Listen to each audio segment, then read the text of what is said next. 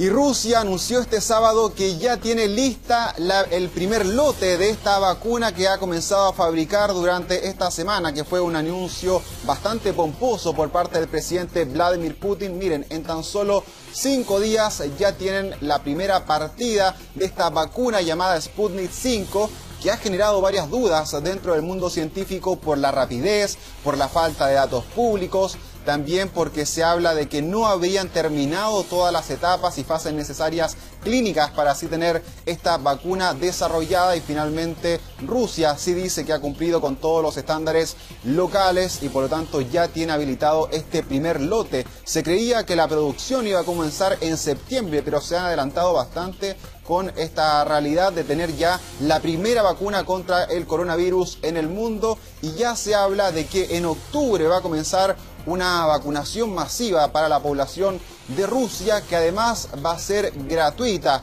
El gobierno de Vladimir Putin además adelantó que más de 20 países han solicitado ya esta inyección para tenerlas en sus localidades.